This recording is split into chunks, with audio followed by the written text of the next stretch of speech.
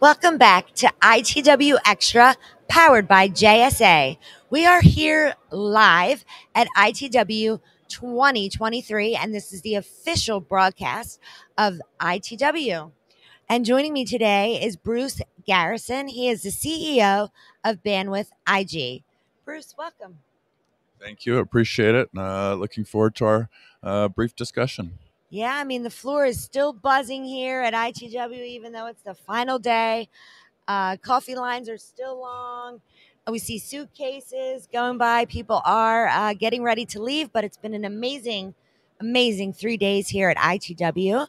Uh, so let's talk a little bit about Bandwidth IG. And for those that are unfamiliar with Bandwidth IG, don't you give us a little more insight about the company? Yep, sure will. Um, Bandwidth IG, and it's Bandwidth IG's infrastructure group.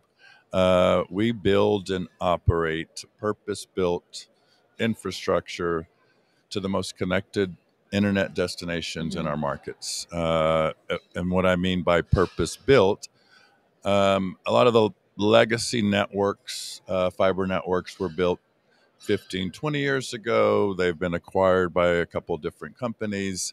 Uh, there's less fiber availability. So Bandwidth IG saw an opportunity uh, with the explosion of uh, internet traffic, right. cloud. Now there's uh, machine learning and AI. Uh, that these platforms uh, we're going to run into challenges without uh, much more dense fiber. So purpose built to us means 100% underground, same fiber type, very high duct packages uh, and a long runway, and it's just a it's a critical asset that's now uh, it's turning into a utility. Uh, well, thanks for giving us uh, that information, and you've had a number of announcements over this past year, including one big one uh, with your appointment of the CEO of this company.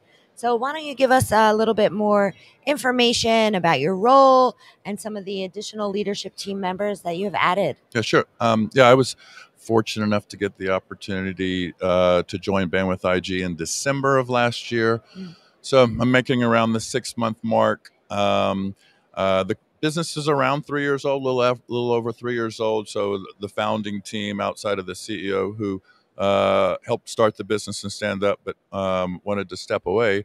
Um, majority of the founding teams there. Uh, our, our, our next few years is really about commercial execution. So I had added a chief revenue officer, uh, a gentleman named Patton Lockridge, who joined us uh, about six weeks ago uh, and to kind of yeah, welcome Pat. Congrats. And, uh, and, to round out the team, and uh, for the foreseeable future, um, I think we have a good group intact uh, to uh, execute on our mission.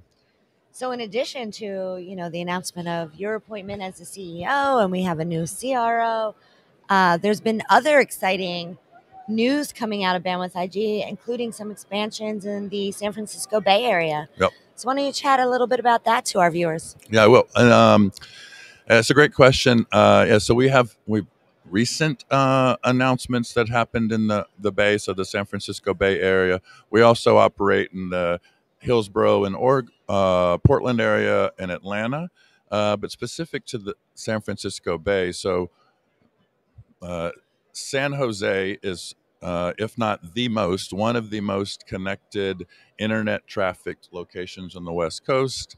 Uh, Silicon Valley in the Bay Area continues to be a hub for data center activity. Uh, so, going back to that purpose built statement that I had said, we built three, now have three new routes.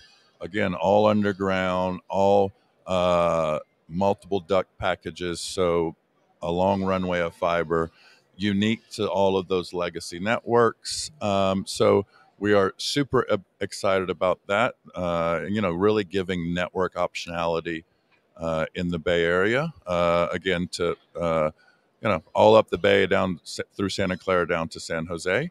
Uh, and we actually have more exciting news uh, to talk about towards the end of the year. something super unique also in the Bay Area, but we'll hold that for a little bit longer. Oh yes, we'll definitely hold that for a little bit longer. And uh, Maybe we'll be talking about that at some of the fall events uh, yeah, I hope so. that are coming up. Uh, is there anything else you wanted to add? Uh, as far as from an expansion perspective, uh, yeah, we're doing more in uh, Hillsboro area. Okay. Uh, again, another data center market.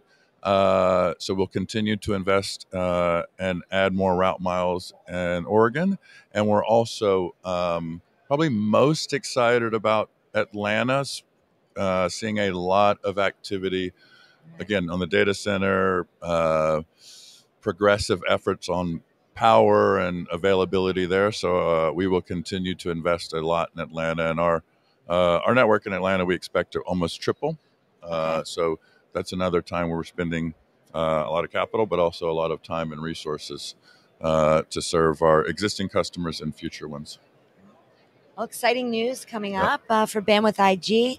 And is there anything else you wanted to add today? Nope. Yeah. Just appreciate the opportunity. Excited. Uh, it is a super unique business. Uh, you mentioned the point about all the buzz. You know, it's a lot of the telecom world. Right. We're doing something. Uh, it's really mission critical infrastructure that's making AI and cloud possible, and uh, it's a niche business uh, with a lot of our customers here. So it's been a great event, and uh, thanks for uh, letting me join your uh, interviews. Yes, thanks for thanks for joining us. It's been a pleasure having you Yep. here on ITW Extra, powered by JSA, live from ITW. Where can viewers go if they want to learn more? Uh, the website bandwidthig.com is a, a good place. Uh, LinkedIn uh, is another one.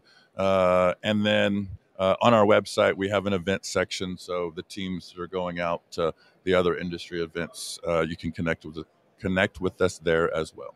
All right, great. Bandwidthig.com. Bruce, thank you again for joining us. And thank you, viewers, for tuning in to another episode of ITW Extra, powered by JSA, live from ITW 2023. Happy networking.